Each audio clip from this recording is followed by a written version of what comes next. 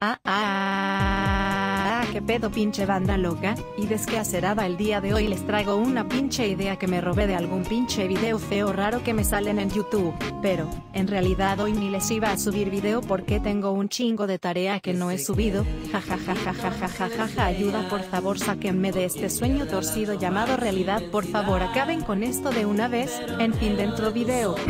La historia de mi amigo Burocracio comienza un 20 de enero de 1132. Mi amigo Burocracio era alguien calmado, tranquilo y con un porte muy exuberante, portaba cadenas Gucci y relojes Rolex en ambas manos, al igual forma tenía el iPhone 21, y lo más resaltante en era su figura gorda, y una insignia que decía amo la burocracia pero esta se fue absorbiendo en su piel debido a que la burocracia es un mal. Burocracio siempre luchó contra la burocracia ya que él creía firmemente que este era un sistema inventado por el gobierno soviético para destruir a los americanos, pero Burocracio logró exterminar este mal en 1990 cuando cayó la URSS. Al exterminar este mal, Burocracio siguió luchando en contra de la esclavitud y actualmente es un villano, ya que cree que la burocracia es un bien implementado por los soviéticos para acabar con el universo, y que todos montemos osos los domingos a las 7 am para que Rusia lance sus misiles y terminemos todos muertos, Roxxon ha tenido un enfrentamiento con él pero Burocracio malherido, y a punto de obtener la putiza de su vida,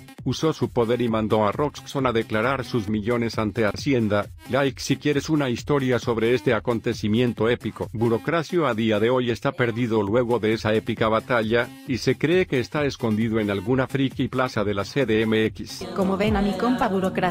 De hecho es un buen tipo, su único factor en contra fue votar por el PAN pero bueno, ni pedo, que se le hace al buro buro, hasta aquí el video de hoy, esto de hacerlos en la madrugada me está matando, nos vimos.